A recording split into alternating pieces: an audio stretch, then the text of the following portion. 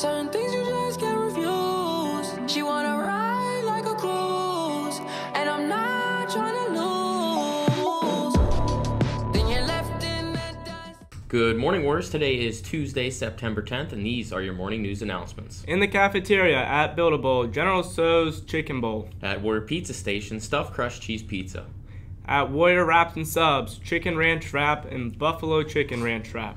At Sandwich Slide, egg rolls and General Tso's dipping sauce. At Grab and Go, Yogurt Parfait and Italian Salad.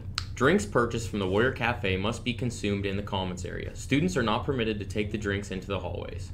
Any freshman interested in running for CHS Student Council, please contact Mr. Brooks to have your name added to the list. Sign-ups end at the end of the school day on Wednesday, September 11th. History Club meeting will be held on September 11th at 2:30 p.m. There will be a robotics meeting this Thursday from 6 to 7 p.m. in the auditorium. See Mrs. Barnhart for more info. Good luck to all the athletes tonight in your competitions. That's all we have for you today, Warriors. Have a great day.